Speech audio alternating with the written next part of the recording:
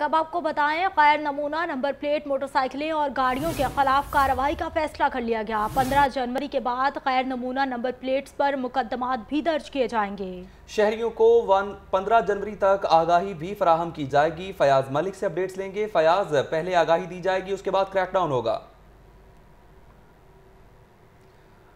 فیاض ملک سے اپڈیٹس لیں گے اور اس حوالے سے جانیں گے کہ گاڑیوں، موٹر سائیکلوں کے خلاف جو کارروائی کی جا رہی ہے، اس کے لیے پہلے آگاہی فراہم کی جائے گی۔ فیاض، بتائیے گا پندرہ جنوری تک تو آگاہی فراہم کی جائے گی، اس کے بعد کریک ڈاؤن شروع ہوگا۔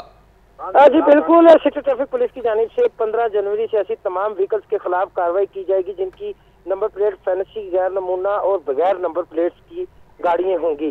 جیلی اور بوگس نمبر پلیٹ لگانے والوں کے خلاف باقاعدہ طور پر مقدمات بھی درج کیے جائیں گے۔ اس حوالے سے سیٹو ٹریفک اور کیپٹن ریٹائر لیاقت علی ملک کا کہنا ہے کہ کاروائی سے پہلے شہریوں کو بھرپور آگاہی فراہم کی جائے گی۔ شہری پریشانی سے بچنے کے لیے محکمہ ایکسائز سے جاری شدہ نمبر پلیٹ کا استعمال کریں۔